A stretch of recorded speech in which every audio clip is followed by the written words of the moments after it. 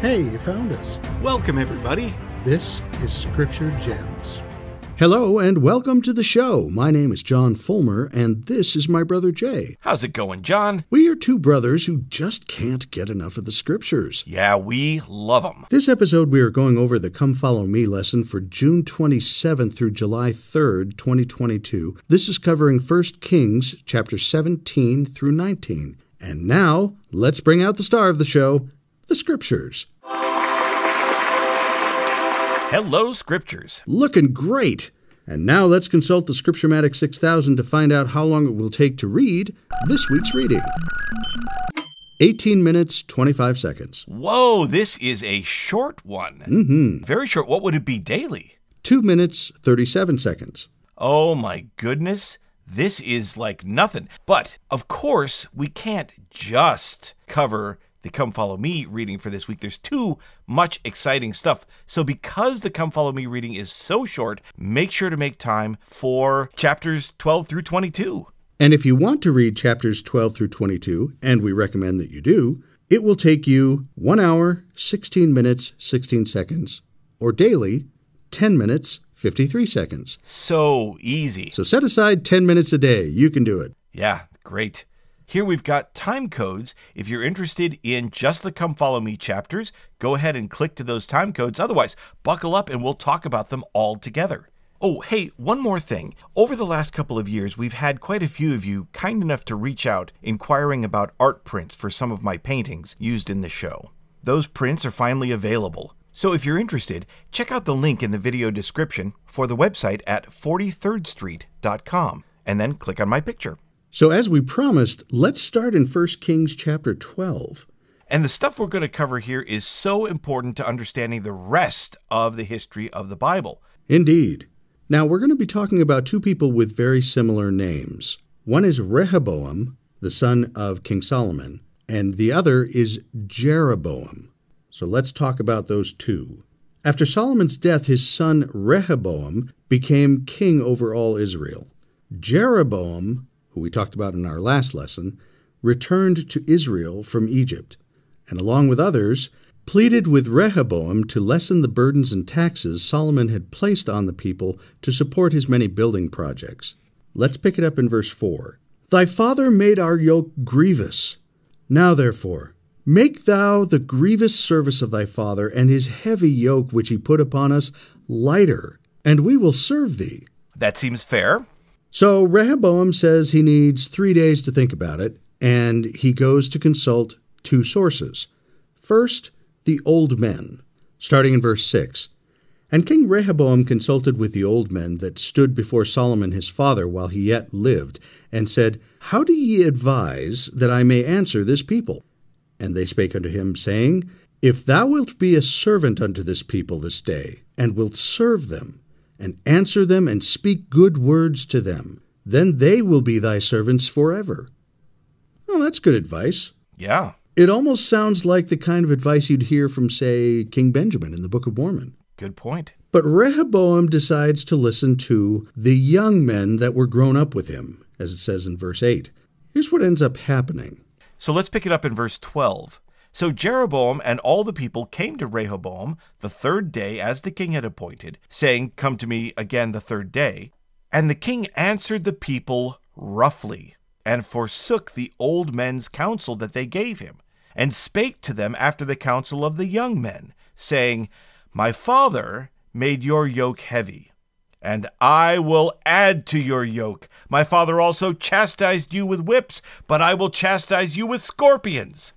In other words, you thought your burdens were hard before. I'm going to make it even harder. Why? Because I'm bigger and better than my father. Also, check out the footnote for 11b. He's threatening to chastise them with stinging whips, not actually dumping scorpions on them, although I'm not sure which one is any better. so, what's the reaction of Jeroboam and the northern people of Israel? Let's pick it up in verse 16. So when all Israel saw that the king hearkened not unto them, the people answered the king, saying, What portion have we in David? Neither have we inheritance in the son of Jesse. To your tents, O Israel! Now see to thine own house, David. So Israel departed unto their tents. Yeah, the Institute manual summarizes it this way Those assembled made it clear that they no longer considered themselves to be part of the house of David, or Judah. They rebelled against the dominion of Rehoboam and moved to establish their own kingdom. To your tents is an idiom meaning, let's go home. So, in short, the people said, That's it, we're out of here. they were no longer going to accept Rehoboam as their king. Right. Now, what happens next always seemed hilarious to me in a dark sort of way. Picture this you're the king of Israel. You just threatened those whiny other tribesmen that you're going to make their lives even harder than your dad did. They've threatened to secede from the nation. What do you do next? You send the tax collector, of course. right. Time to collect your tribute. Let's see how that went over. Picking up in verse 18. Then King Rehoboam sent Adoram, who was over the tribute, and all Israel stoned him with stones that he died. Therefore King Rehoboam made speed to get him up to his chariot to flee to Jerusalem. Poor Adoram. It wasn't your fault that your king was an idiot. Speaking of which, the wording in verse 18 would imply that Rehoboam was at least nearby, learned of or witnessed the stoning, and sped as fast as he could back to Jerusalem. That's the smartest thing he's done so far. Oh, man. So, the northern ten tribes, that's all the tribes except Judah and Benjamin, rebel against Rehoboam and make Jeroboam their king, which fulfilled the words of the prophet Ahijah. This revolt divided the kingdom in two the northern kingdom of Israel and the southern kingdom of Judah. This division will be helpful to understand when studying later chapters. So, Israel is no longer a united kingdom. From this point on, whenever Israel or Ephraim is mentioned, it's likely referring to the northern kingdom, and likewise, whenever Judah is mentioned, we're talking about the southern kingdom. You can see the division of the lands on map 3, the division of the 12 tribes, in the Bible maps section. You know, it's been a little while since we've attempted to pin a year on these events. The timeline isn't quite stable yet, but it's getting closer. Most scholars agree that the reigns of Rehoboam and Jeroboam were in the 10th century BC. The Institute Manual gives 930 BC, the Bible Chronology and the Study Helps gives 975 BC. This gives us a rough estimate of where we are. We're still almost a thousand years before the birth of Jesus Christ. Yeah, so let's go back to chapter 12 and let's take a look at the northern kingdom. This will cover chapter 12 and 13 and 14, some aspects of that, but let's summarize it here. The seminary manual summarizes it this way Because the temple was located in Judah, Jeroboam feared that his subjects would travel south to worship the Lord and eventually become sympathetic to the southern kingdom. To prevent this, Jeroboam established new places of worship idols and feasts in the northern kingdom, and appointed his own priests.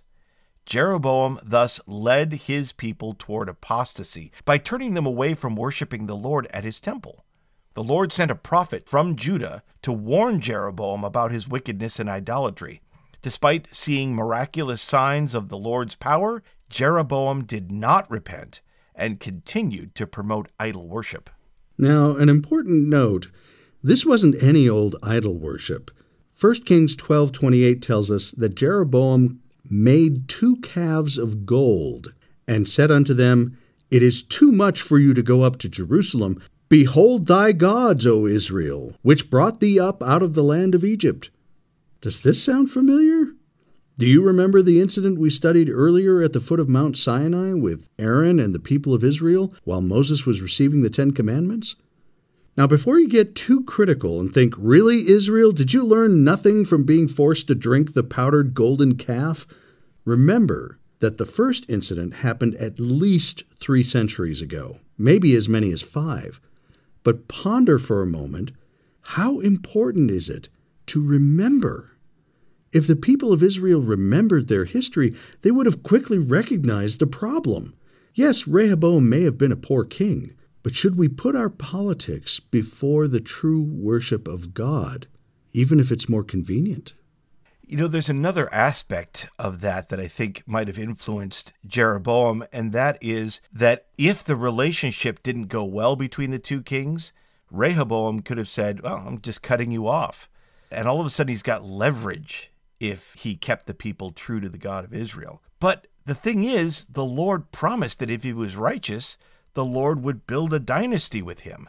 And if he'd just trusted that and not worried so much about, well, political stuff, it would have been a very different situation.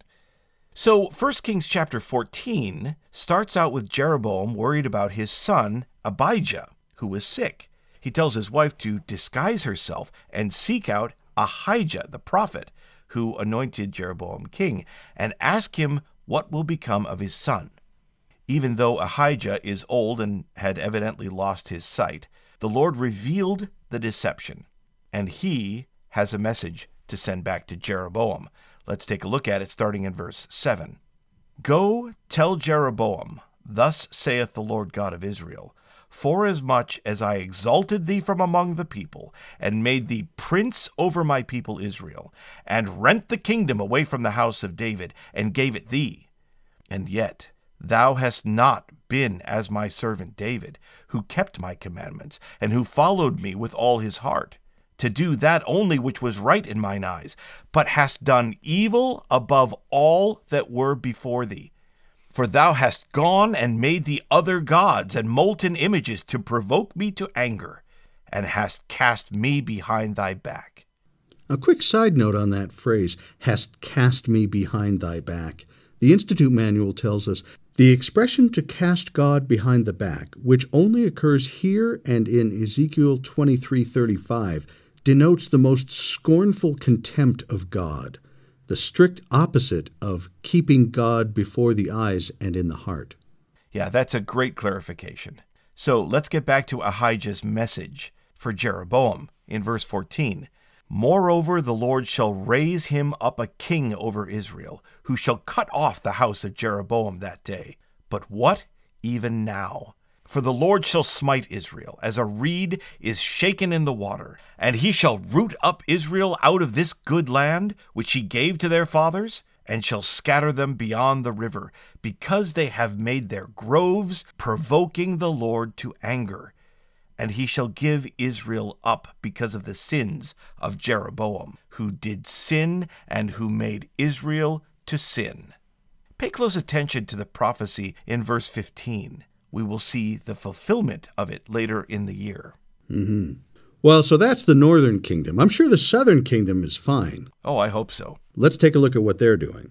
The seminary manual tells us after Solomon's death, his son Rehoboam ruled in the southern kingdom of Judah. Look for the spiritual state of the people in Judah. Let's take a look at 1 Kings chapter 14, verse 21. And Rehoboam the son of Solomon reigned in Judah. Rehoboam was forty and one years old when he began to reign, and he reigned seventeen years in Jerusalem, the city which the Lord did choose out of all the tribes of Israel to put his name there. And his mother's name was Naamah, an Ammonitess. And Judah did evil in the sight of the Lord, and they provoked him to jealousy with their sins which they had committed above all that their fathers had done. For they also built them high places, and images, and groves, on every high hill, and under every green tree. And there were also sodomites, that's male prostitutes, you can see in footnote A, in the land. And they did according to all the abominations of the nations which the Lord cast out before the children of Israel. The seminary manual also adds an especially evil practice of idol worship involving immorality often took place around the groves built to false gods. We've talked about the groves, the Asherah or Asherim. So, yes, Jeroboam was encouraging Israel to worship false gods, but so was Rehoboam in Judah. You know, we sometimes wonder why God is removing the people from the land so that the Israelites can come in.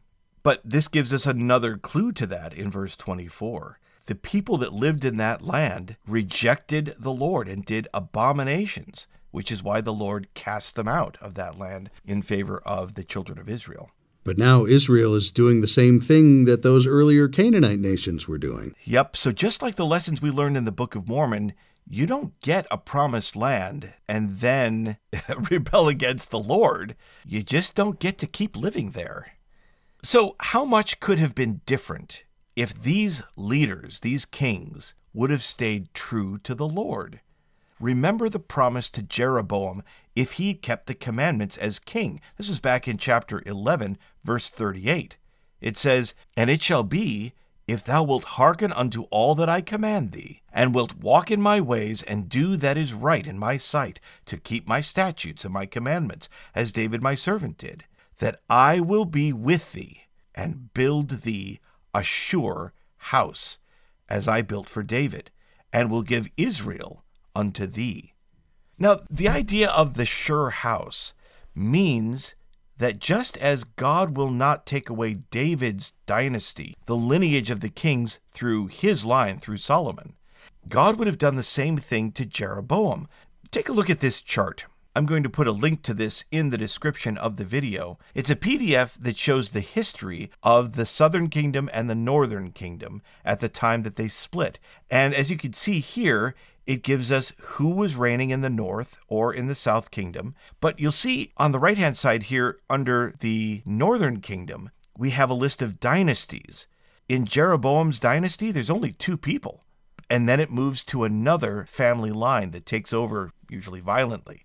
And we only have two people in that dynasty. There's five dynasties over the history of the northern kingdom of Israel which means family lines are replaced by other family lines. But God would have given Jeroboam's family line that dynasty. You can see we don't have the same thing happening in the southern kingdom. If you use this chart in your study, know that the descriptions for each of the rulers that you find on the right and left hand side of the chart are taken directly from the Institute Student Manual, Volume 2, from the Enrichment Section A. They do a great job describing and summarizing the reign of each king as well as giving you the scripture reference, but I thought this might be an easier way to visually see what's happening. And in between the two, you can see an approximate time period where certain prophets may have lived and ministered, either to the northern kingdom or the southern kingdom. So I hope that's helpful. Here's an interesting side note. 1 Kings 14:19 mentions that the rest of the acts of Jeroboam are written in the book of the Chronicles of the Kings of Israel.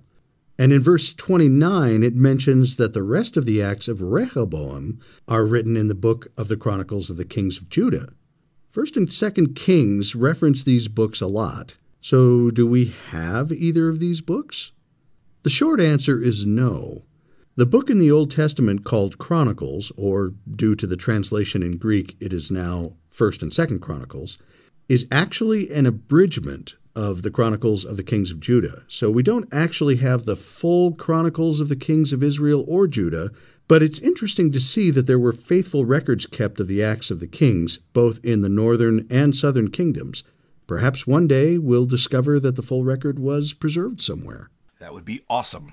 One more bit of trivia. Verse 25 mentions King Shishak of Egypt. Let's read verse 25. And it came to pass in the fifth year of King Rehoboam that Shishak, king of Egypt, came up against Jerusalem.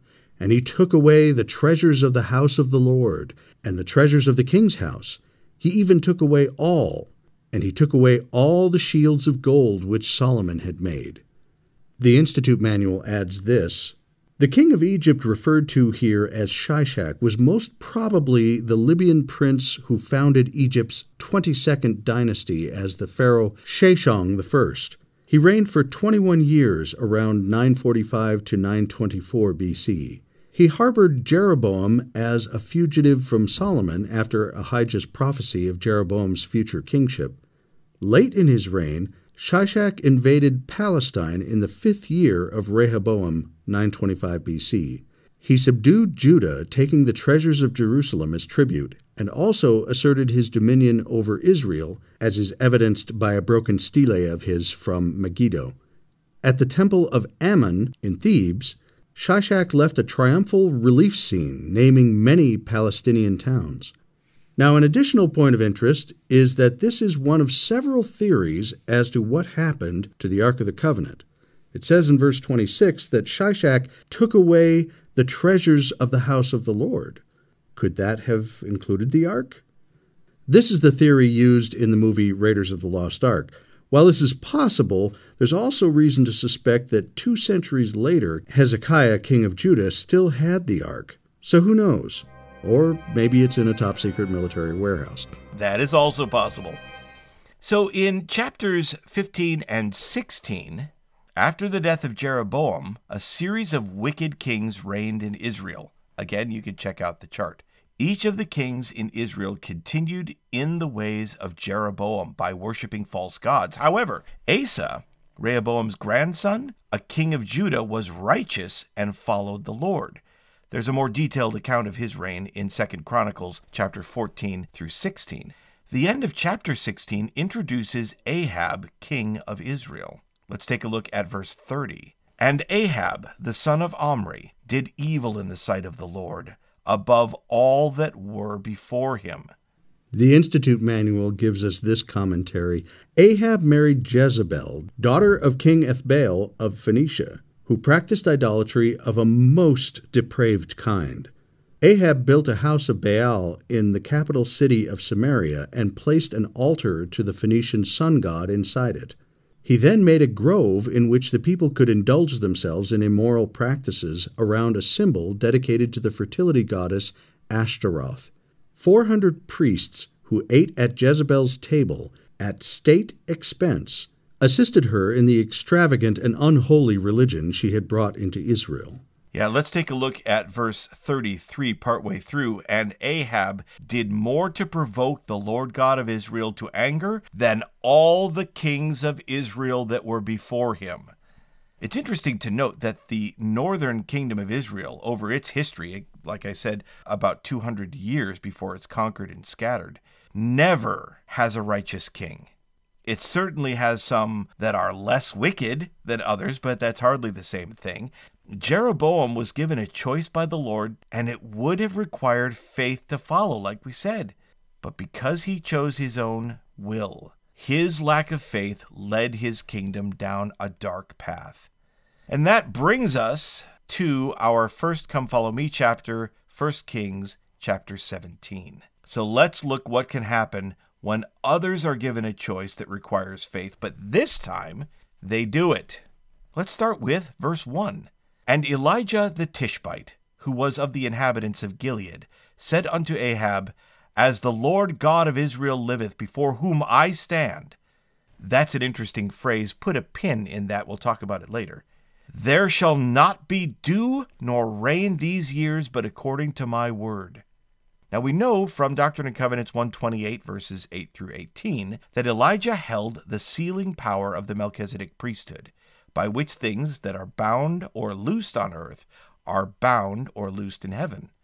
As we will explore further in the lesson, Baal was a Canaanite god associated with the weather. Elijah is declaring that it is the God of Israel that rules in the heavens, and that Baal is a false god. Going on in verse 2 And the word of the Lord came unto him, saying, Get thee hence, and turn thee eastward, and hide thyself by the brook Cherith that is before Jordan. And it shall be that thou shalt drink of the brook, and I have commanded the ravens to feed thee there.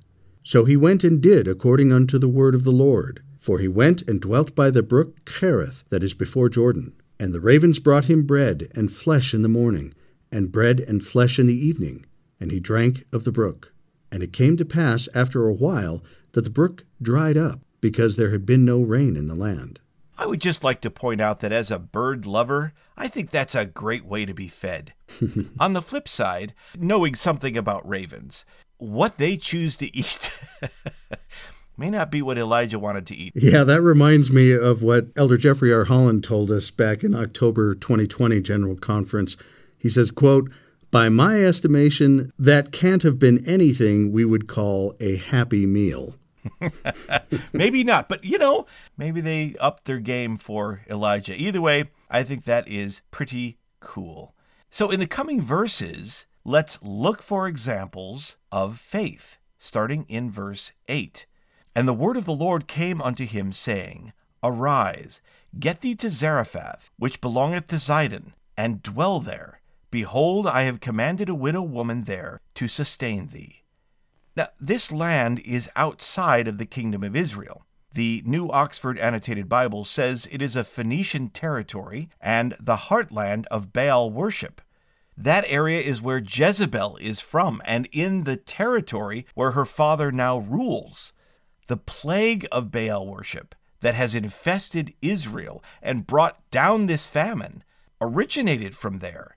How strange that the Lord would have commanded this widow from such a place as this to help the prophet. And she's not even an Israelite. And how do we know that she's not? Well, in the New Testament, Luke chapter 24, verses 24 through 26, Christ uses this story to show that Israel didn't honor God's prophet during that famine, but an outsider did. Verse 24 And he said, Verily I say unto you, no prophet is accepted in his own country.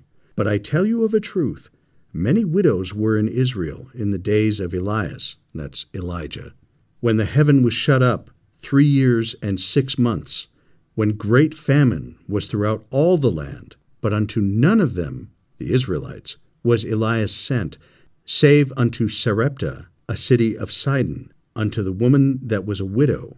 Now it says Sarepta, but our footnotes and other translations show that it was Zarephath.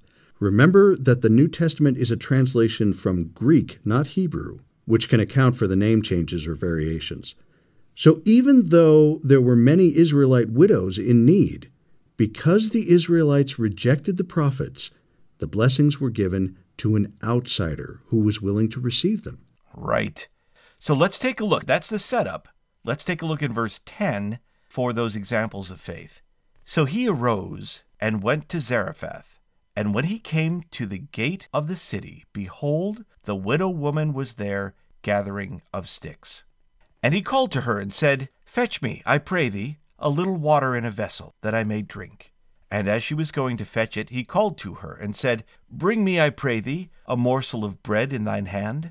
And she said, As the Lord thy God liveth, I have not a cake, but an handful of meal in a barrel, and a little oil in a cruse. And behold, I am gathering two sticks, that I may go in and dress it for me and my son, that we may eat it and die. Okay. We often talk about the widow's faith when we refer to this story, but let's please examine Elijah's faith for a minute. Imagine that you are Elijah and the Lord has told you that he has commanded someone to help you. Perhaps you imagine a humble but well off widow that helps the community with her resources and so has enough to share with a prophet. Perhaps you also imagine she's expecting you. If in fact God commanded her, like he said, that seems like it's news to her. But maybe it's not. Maybe God did command her, but she was like Amulek in the Book of Mormon, when he said, Nevertheless, I did harden my heart, for I was called many times, and I would not hear. Therefore I knew concerning these things, yet I would not know. That's from Alma 10:6. Maybe God had been working with her, and she had resisted him, but he sent his prophet to her just as he did to Amulek.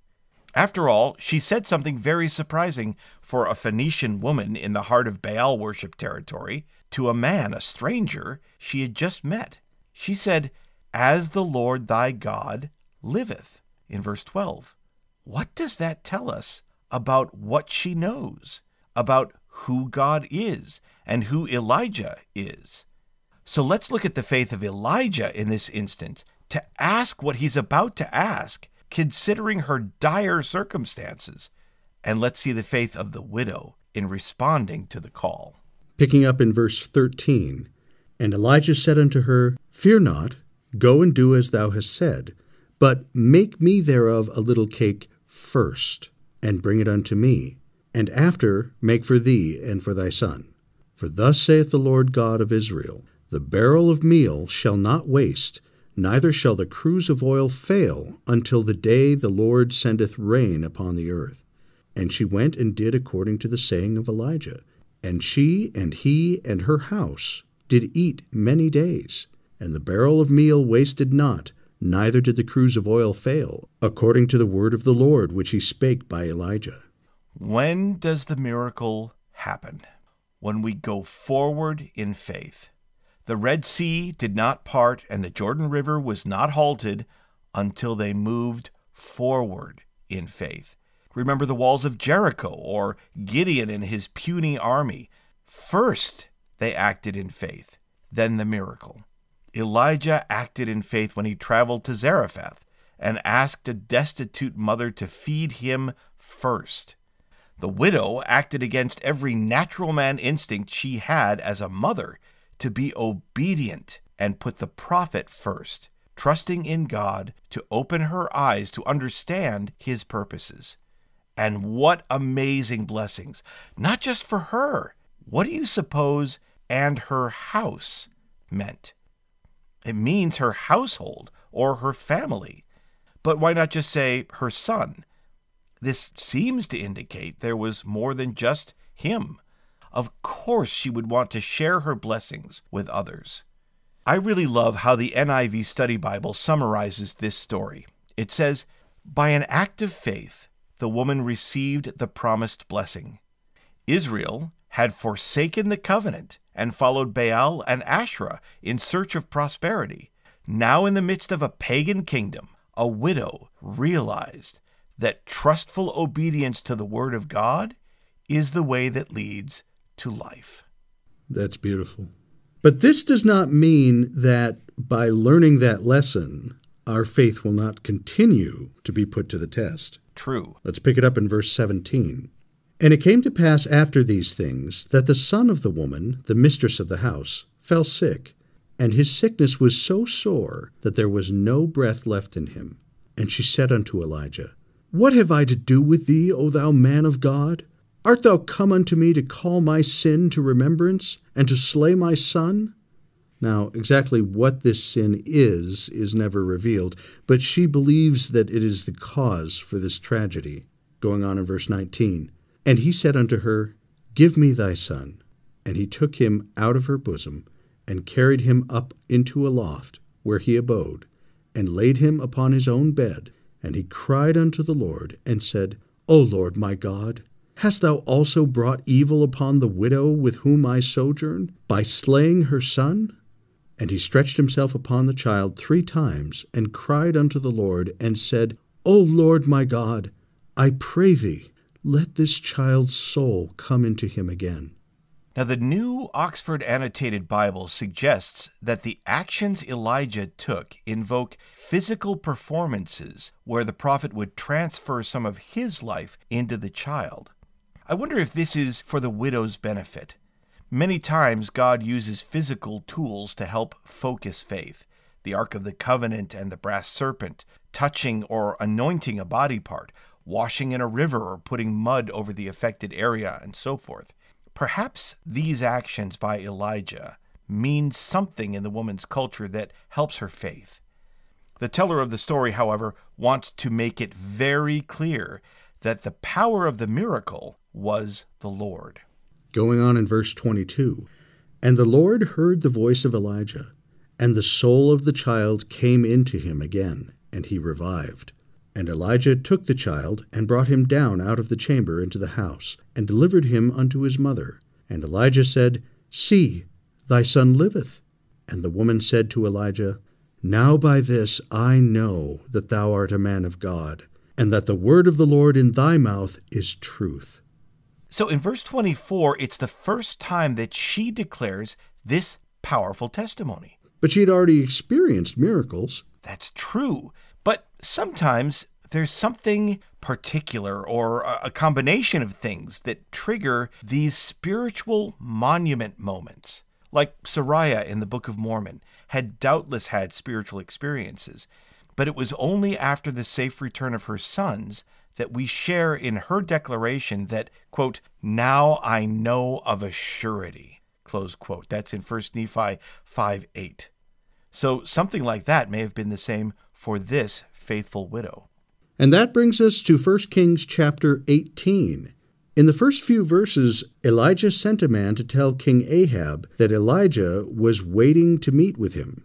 That famine had not humbled the king, and Queen Jezebel had been slaying the prophets, as it mentions in verse 13. The man Elijah sent was named Obadiah. There's a short Old Testament book named Obadiah, but most scholars don't believe this is the same person. Admittedly, we don't know for sure, though.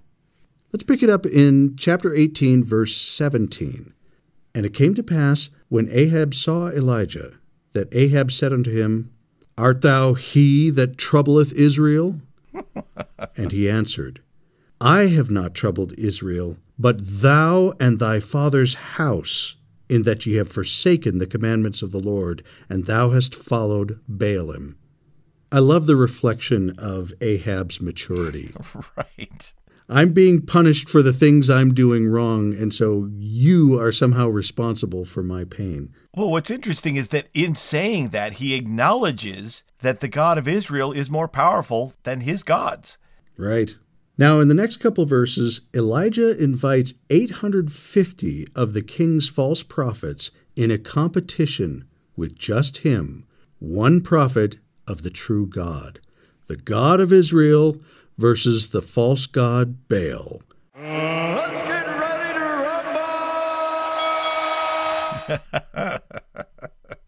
rumble! right. Well, this is what it is. It really is this competition between these two voices. Let's find out how it goes. So, Israel is gathered at Mount Carmel, and Elijah addresses them. He says, and this is chapter 18, verse 21 And Elijah came unto all the people and said, How long halt ye between two opinions? If the Lord be God, follow him, but if Baal, then follow him. And the people answered him not a word. Then said Elijah unto the people, I, even I only, remain a prophet of the Lord, but Baal's prophets are four hundred and fifty men. This is a good reminder that God's followers are the minority. The world may be arrayed against us, in this case 450 to 1, but we know in whom we have trusted. We will follow him. So here are the contest rules, starting in verse 23. Let them therefore give us two bullocks, and let them choose one bullock for themselves, and cut it in pieces, and lay it on wood, and put no fire under, and I will dress the other bullock, and lay it on wood, and put no fire under. And call ye on the name of your gods, and I will call on the name of the Lord. And the God that answereth by fire, let him be God. And all the people answered and said, It is well spoken. And so the priests of Baal go first, in verse 25. And Elijah said unto the prophets of Baal, Choose you one bullock for yourselves, and dress it first for ye are many, and call on the name of your gods, and put no fire under. Now, this might be a good time to talk a bit about the pantheon of Canaanite gods. What are we talking about when he said, Call on the name of your gods? This information comes from the scholar John A. Tvedtnes. He has an article in the July 1990 Ensign called Elijah champion of Israel's God. And we're going to quote a chunk of it. There's still much more in the article, and we really recommend it. It gives a great perspective on this world and what we've discovered really only in the last 100 years about the mythology and culture of the Canaanite people. So let's take a look at the article. He says, According to Canaanite mythology, the king of the gods was El, meaning god or strong one. His wife was Asherah, a fertility goddess whose name means grove. The groves, generally of oak or terebinth trees, condemned so frequently in the Bible, were dedicated to her worship. Myths concerning four of the children of El and Asherah are also important to our understanding of the story of Elijah. Baal is a title meaning Lord, but also husband. He also bore the name Hadad, thunderer, for he was the weather god, responsible for lightning, thunder, wind, and rain. Anath is sometimes called the Virgin, but as the mother of nations, she is often depicted as the wife of her brother Baal. Her name means surface, like surface of the earth, and as such, she received the rains sent down by Baal to produce vegetation. She is therefore a fertility goddess like her mother Asherah. Considered a very powerful being, Anath was also the goddess of war. Yam, sea, was the god of the waters, on and under the earth. Many natural phenomena were interpreted in terms of his struggle with Baal for power. For example, sea storms were thought to occur when Yam cast his waves up toward Baal, and Baal would respond by throwing down winds, rain, and lightning, and shouting with his voice of thunder. In the end, of course, the clouds, wind, and rain would disappear, leaving the calm sea the victor. Mot, death was the god of the underworld, where the spirits of the dead were sent. He was the antithesis of Baal, the god of life giving processes, and though brothers, they were enemies. One of the most important Canaanite myths represented in the Ugaritic texts concerns the death of Baal. In the texts, the sky god sponsored a banquet in his palace atop Mount Zaphon. During the banquet, he brought a platter of food and stood before El. The idiom meant that he not only served his father, but that he was also the heir apparent of El. Make note of that for later. During the course of the banquet, messengers arrived from Yam, who, being Baal's sworn enemy, had not been invited. Yam challenged Baal to a duel to the death. Baal left the banquet to meet the challenge and was slain by Yam. Anath brought the tragic news to her father El. The elderly king thereupon left his throne to sit in ashes on the ground, where he began making incisions in his skin with a sharp stone. This Canaanite practice of mourning is frequently cited in the Bible. While sackcloth and ashes were of common use in Israel, the law of Moses forbade making incisions in the skin for the dead. As time went by, the death of Baal proved to be disastrous, for without rain, the earth languished in drought and famine. Something had happened to Baal, but the earth's inhabitants, according to the Ugaritic texts, were uncertain as to whether he was asleep, dead, or off hunting with his lightning spears. While others debated the issue, Anath took action to solve the problem. First, she slew Yam, then she descended into the underworld to strike a bargain with Mot. The god of the dead, of course, had something to lose in this matter, too. Once all vegetation disappeared from the earth's surface, so too would animal and human life, and he would receive no more subjects into his dominion. Anath convinced him that it was in the best interests of all to allow Baal to return to the sky. At length, Mot agreed that Baal could remain in the sky for six months out of the year, providing rain to nourish the earth. During the other six, he would have to return to the underworld while the earth's surface dried from lack of rain. This story was the Canaanite means of explaining the annual vegetation and rain cycles. There had no doubt been many droughts before Elijah's time, but the one recorded in 1 Kings 17 and 18 was especially severe. Elijah announced its coming with these words quote, As the Lord God of Israel liveth, before whom I stand, there shall not be dew nor rain these years, but according to my word. All Israel was put on notice that the drought to come would be caused by Jehovah, God of Israel, and not by Baal, the supposed weather god. In making this announcement, Elijah declared his authority to speak for the Lord by adding the words, Before whom I stand, perhaps with deliberate reference to the fact that in the Canaanite beliefs, Baal stood before El. The contest was designed by Elijah to stack the cards in Baal's favor in order to make a greater impression on the people. Elijah designated the summit of Mount Carmel as the site for the encounter. The name Carmel comes from the Hebrew Canaanite Carm El, meaning vineyard of El, and was probably considered by the Canaanites to be sacred to the old Canaanite god, as well as to Baal and to the Canaanites, two chief goddesses. Atop the mount, there still exists today one of the largest forests of oak trees in Israel, these being the symbol of Asherah. As the most prominent piece of land in the area, it was considered part of the body of Anath, the earth goddess. Furthermore, because it is the highest mountain in the region, during thunderstorms it receives more lightning strikes than other points. Probably this was thought to indicate Baal's presence. The mountain also receives more rainfall than any other spot in Israel, making it an even more suitable representation of Anath, on whom Baal sends his rain. Elijah asked that two bullocks be provided, one for Baal and another for Jehovah. While sheep and goats were most often sacrificed in Israel, the bullock was the symbol of El, whose full title in the Ugaritic literature is Father Bull El. Again, everything seemed to favor the prophets of Baal. Hmm, really good background.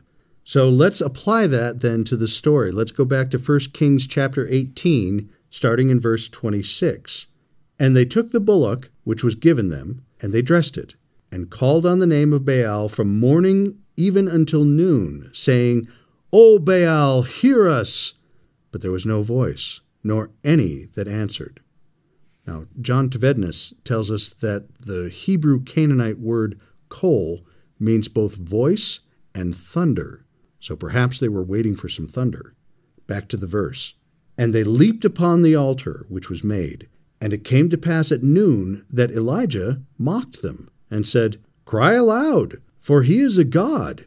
Either he is talking, or he is pursuing, or he is in a journey, or peradventure he sleepeth, and must be awaked. And they cried aloud, and cut themselves after their manner with knives and lancets, till the blood gushed out upon them. And it came to pass, when midday was past, and they prophesied until the time of the offering of the evening sacrifice, that there was neither voice or thunder, nor any that regarded. Thunder from heaven would have demonstrated that Baal still governs. Let's continue with Tvedtnes' article. He says, The prophets of Baal at Mount Carmel apparently concluded that their god must have died. Following the traditional Canaanite mourning practice, they cut themselves after their manner with knives and lancets till the blood gushed out upon them. Still, there was no thunder, neither voice, nor any to answer, nor any that regarded. It was now Elijah's turn. He did several things to illustrate that Jehovah was Israel's only God. First, he rebuilt the altar of Jehovah, which had been torn down, using twelve stones, according to the number of tribes of Jacob, unto whom the word of the Lord came, saying, Israel shall be thy name. Verses 30 through 32. Next, Elijah dug a trench around the altar and placed wood, probably from the native oak trees, and the bullock atop the altar. He then ordered that twelve barrels of water, again the number of the tribes of Israel, be poured atop the sacrifice, drenching the altar and filling the trench. Verses 32 through 35. The use of the water, which would inhibit ignition, was another of the steps he took to make the contest more favorable to Baal. Elijah then addressed God in words deliberately chosen to stress the fact that Jehovah was Israel's God, substituting Abraham, Isaac, and Israel for the usual Abraham, Isaac, and Jacob. Elijah then asked Jehovah to let the people know that Jehovah was the Lord God. Verses 36 to 37.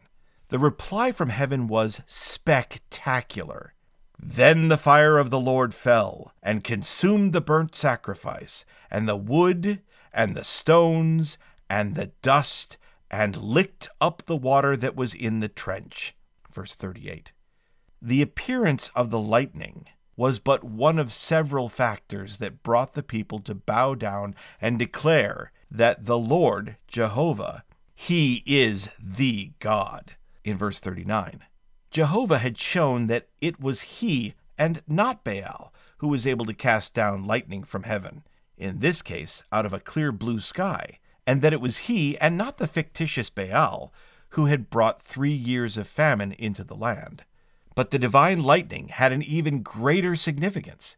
It destroyed the bullock, symbol of El, as well as the wood, symbol of El's wife Asherah, thus making Jehovah more powerful than any of the Canaanite deities. The fire also destroyed the water, symbol of Yam, who, as the destroyer of Baal, was more powerful than Baal. More powerful even than Yam, however, was Anath, the goddess of war who had slain Yam. Jehovah's lightning bolt consumed not only the stones of the altar, but also the dust, both elements sacred to this earth goddess. There could be no doubt in the minds of those who observed this great miracle Jehovah was the God. It remained to show that the Lord was more powerful than Mot, the Canaanite god of death, who was able to hold Baal captive for half of each year. Therefore, Elijah ordered that the false prophets of Baal be taken to the Kishon River, which runs near the base of Mount Carmel, to be slain. Ordinarily, one would be expected to mourn and fast for those who had died.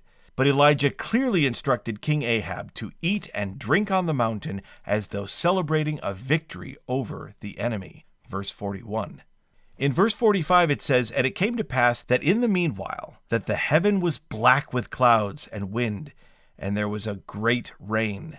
And Ahab rode and went to Jezreel. So after three and a half years, it finally rains. And that brings us to 1 Kings chapter 19, starting in verse 1. And Ahab told Jezebel all that Elijah had done, and withal how he had slain all the prophets with the sword. Then Jezebel sent a messenger unto Elijah, saying, So let the gods do to me and more also, if I make not thy life as the life of one of them by tomorrow about this time. So Jezebel has made a very clear threat to Elijah that she's going to kill him. In the next few verses, Elijah fled from the land of Israel and traveled many days until he came to Mount Horeb, another name for Mount Sinai. Starting in verse 9 And he came thither unto a cave and lodged there. And behold, the word of the Lord came to him, and he said unto him, What doest thou here, Elijah?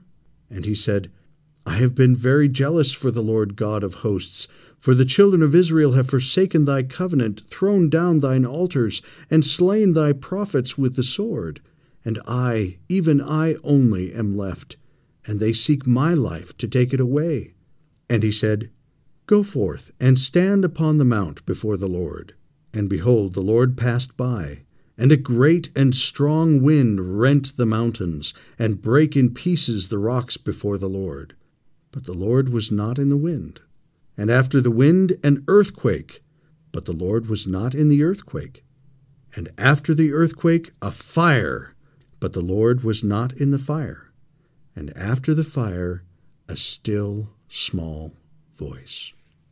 Now, from that same article we've been reading, John A. Tvedtnes has a really great insight about this scene. Let's pick it up in his article. He says, The Lord had yet another message concerning his true nature to pass on through Elijah. This lesson was to be taught at Mount Horeb in Sinai, where Jehovah had manifested himself in fire and thunder to Israel to reveal his law. We talked about this back in Exodus 19 and 20. Israel had broken his law by turning to Baal. Now the Lord would reveal himself to Elijah in much the same terms as he had done to Moses and all Israel some centuries earlier. Though Jehovah controlled the wind, the earthquake, and the fire, he was none of those phenomena of nature. He was not the wind, as some depicted Baal, nor was he the earth, whose quaking was considered by others to be the movement of Anath. He was not the fire or any other of the elements. Rather, it was the Lord who controlled them all, and he manifested himself, as he does today, in the still, small voice of his Spirit. It is a voice with which we all need to become familiar if we are not to succumb to the strident voices of today's false gods. That's great. There's a quote that we wanted to include from then Elder Henry B. Eyring from April 1991 General Conference. He says, quote, I testify it is a small voice. It whispers, not shouts, and so you must be very quiet inside. That is why you may wisely fast when you want to listen, and that is why you will listen best when you feel, Father, thy will, not mine, be done. You will have a feeling of, I want what you want. Then the still small voice will seem as if it pierces you. More often, it will make your heart burn within you, again softly, but with a burning which will lift and reassure. That is great, and I suspect many of us, if not all of us, have felt that. It's good to be reminded. Now, Elijah was not the only one who was faithful to the Lord. In chapter 19, let's look at verse 16. And Jehu, the son of Nimshi, shalt thou anoint to be king over Israel. And Elisha, the son of Shaphat of Abel Meholah, shalt thou anoint to be prophet in thy room. And it shall come to pass that him that escapeth the sword of Hazael shall Jehu slay, and him that escapeth the sword of Jehu shall Elisha slay. Yet I have left me seven thousand in Israel, all the knees which have not bowed unto Baal, and every mouth which hath not kissed him. So, wait, is Elisha going to slay people? From the Institute manual, we get this insight. There is no record of Elisha slaying anyone. This passage may mean that Elisha would prophesy the death of certain people. Of course, the Bible record as it is now is fragmentary at best and the details of the incident referred to here may be lost. Now, keep an eye out for Elisha. We're going to talk a lot more about him in the next lesson. He is very interesting. He's awesome. I love him. So, in verses 19 through 21, Elijah did as the Lord commanded and called Elisha to be a prophet. An interesting side note on the character of Elisha. The Institute manual says Elisha must have been wealthy to have been plowing with 12 yokes of oxen, for each yoke pulled a plow and was driven by a servant. The feast of two oxen also indicates wealth. Eating the oxen and burning their equipment symbolically represents Elisha's rejection of worldly wealth as Elisha prepared to follow Elijah and to make the considerable material sacrifice involved in responding to the prophetic call. And that brings us to 1 Kings chapter 20. Here the Israelites defended themselves in battle against the Syrians. 1 Kings chapter 21 gives us an interesting insight into both Ahab and Jezebel's character. Ahab covets a vineyard owned by a man named Naboth. Ahab offers to buy it, but Naboth can't sell it. As the Institute manual explains, quote, his land had been inherited from his forefathers, and the law of Moses did not permit the sale of one's inheritance except in cases of extreme destitution. And then it could be sold or mortgaged only until the time of Jubilee, when it would be reclaimed. So, what's Jezebel's solution? Gather a few, quote, sons of Belial, end quote, we talked about those, to claim that Naboth blasphemed God and the king. This is mentioned in verse 10. And the people will stone Naboth until he dies. And they do. Problem solved, right? Everybody wins. Yeah, it's at this point where Elijah prophesied that Ahab and Jezebel would die. His words were fulfilled, and eventually they would both be killed. King Ahab will be killed in this very lesson. Later in 2 Kings chapter 9, it will be Jezebel's turn. But in 1 Kings 22, Ahab joins forces with Jehoshaphat, king of Judah, against Syria. Jehoshaphat is a righteous king and asks Ahab to, quote, Inquire, I pray thee, at the word of the Lord today, in verse 5. Ahab calls 400 of his prophets, and they all declare victory against Syria. In verse 7, it says, And Jehoshaphat said, is there not here a prophet of the Lord besides, that we may inquire of him? And the king of Israel said unto Jehoshaphat, There is yet one man, Micaiah the son of Imlah, by whom we may inquire of the Lord, but I hate him, for he doth not prophesy good concerning me, but evil. And Jehoshaphat said, Let not the king say so.